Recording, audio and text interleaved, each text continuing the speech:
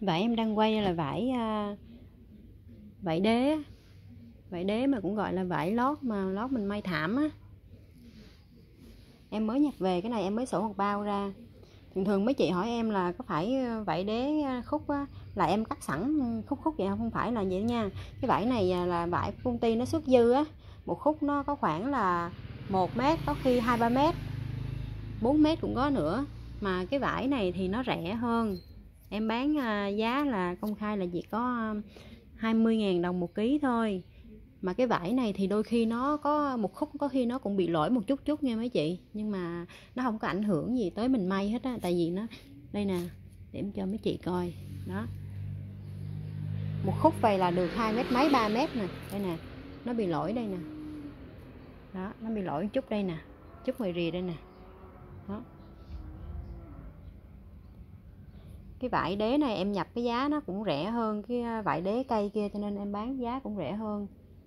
Mấy chị nào mà có lấy thì à, dặn em trước, tại vì cái à, cái hàng này á, nó không có có nhiều.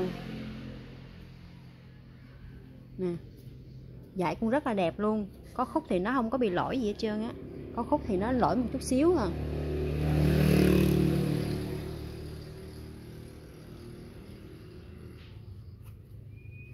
Dù nó dày nhưng mà nó nhẹ. Cái bao này em sổ ra là hầu hết là ít có bị lỗi lắm, khúc nào cũng đẹp hết.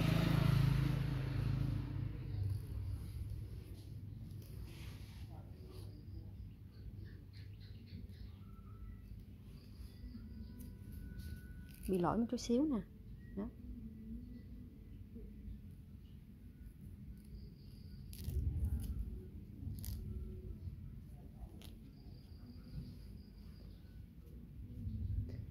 Cái vải này á, mình may à, võng cũng được nữa, không thôi mình may bao đập nước đá đó.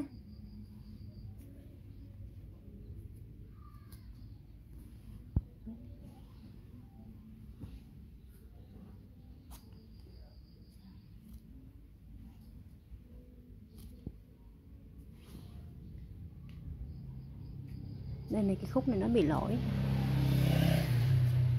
Nó bị lỗi này cái này nó bị lỗi nhiều nè cái nào mà lỗi nhiều quá là em không có ờ, bán, em thảy ra, em lựa ra một bên.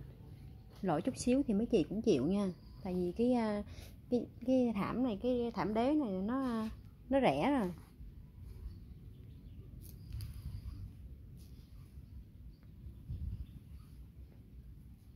Mấy chị nào có muốn mua thì kết bạn zalo, nhắn tin cho em.